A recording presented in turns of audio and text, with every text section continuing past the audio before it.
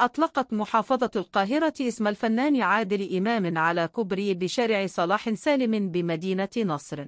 وهذا وفقا لإطلاق أسماء عدد من الرموز المشهورة على بعض مدارس العاصمة والمشروعات التي تنفذها الدولة تقديرا لما قدموه لمصر. وقال هاني رمزي عبر حسابه بموقع انستجرام تعليقا على خبر إطلاق اسم عادل إمام على الكبري الواقع بتقاطع صلاح سالم مع طريق السكة البيضاء قائلا. تكريم الدولة للفنان الكبير عادل إمام هو تكريم لكل فنان مصري. إطلاق اسم الفنان الراحل حمدي أحمد على أحد الميادين بسوهاج. وكان قد قرر الدكتور أيمن عبد المنعم محافظ سوهاج إطلاق اسم الفنان الراحل حمدي أحمد على ميدان المسلة في غرب السكة الحديد بمدينة المنشاة مسقط رأس الفقيد.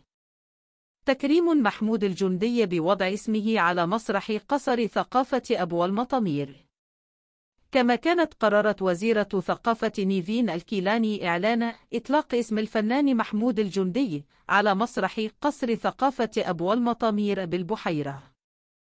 محمود ياسين يكرم من بورسعيد.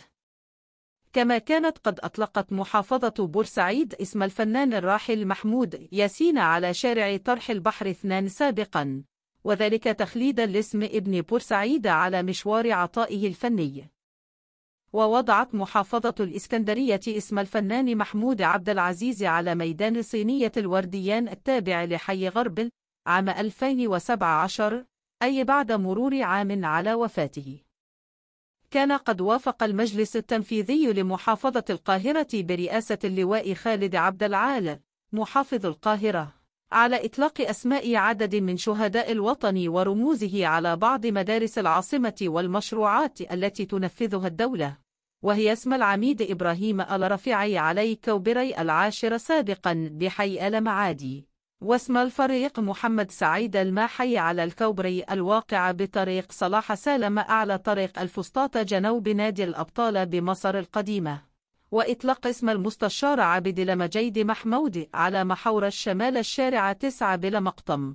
وإطلاق اسم الفنان عادل إمام على الكوبري الواقع بتقاطع صلاح سالم مع طريق السكة البيضاء جنوب دار المركبات.